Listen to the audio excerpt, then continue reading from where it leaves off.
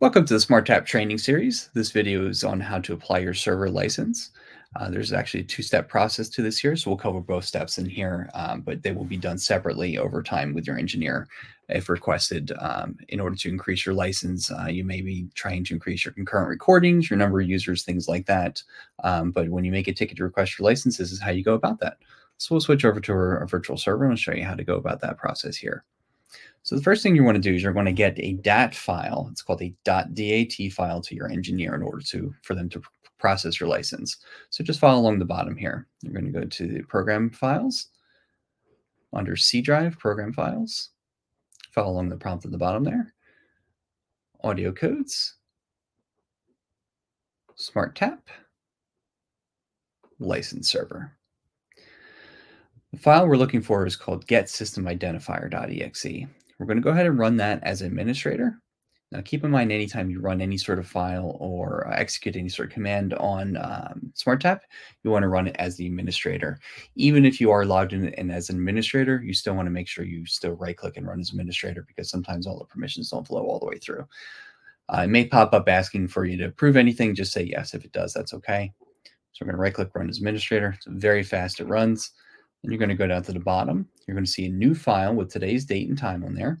And it's going to say system dash SmartTAP. and then I'll have the name of your server dot .dat. That's the file you want to get to your engineer. So we're going to copy that onto your desktop, and you're going to attach to your ticket. Once your engineer gets that file from you, they will then be able to make the actual license itself. They'll generate that license and email you back a file. That file already downloaded onto this particular folder here, but it's under our, I just put it under downloads file uh, folder for us here, and it's called license.lic. That will be the same name for everybody. So I'm just going to copy that onto the desktop just to get out of the way for you here. Now, the most important thing we need to do is we need to go in here and we need to stop the service of the license server itself. So we're going to open up our services. And if you're not sure how to get to the services, you can always just do a search here, services, right there. And you can see in here, we're going to have a number of different uh, devices in here by AudioCodes. The one we're looking for is AudioCodes LS. I'm going to go ahead and stop that. Okay, so that has been stopped. And now we're going to go ahead and apply the license itself here. So we're going to go into the files, Explorer. We're going to go to this PC, C drive, the same place we went before, program files, AudioCodes, SmartTAP license server. Now we're going to take the, the license itself that was generated by your engineer and we're going to place that in here. But first, always good idea to make a backup copy.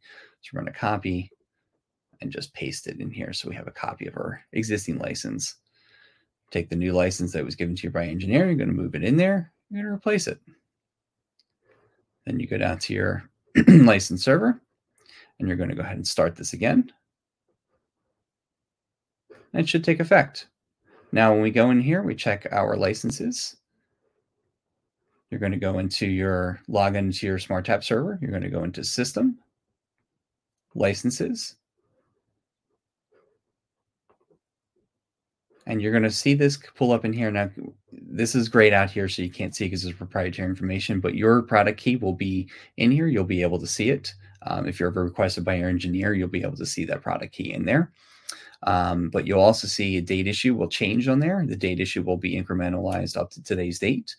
And that's how you know the new license is taking effect. But you'll also be able to see on here, if you go under audio targets, you'll see your new amounts in here. Uh, if you still see your old amounts up there, um, uh, audio targets is for your um, users. And then the auto concurrent recordings is how many recordings you can do at once at any given time. If these are still your old values, then the license did not take effect please try to repeat the process or contact your engineer if you have any more questions on it if it's not working for some reason.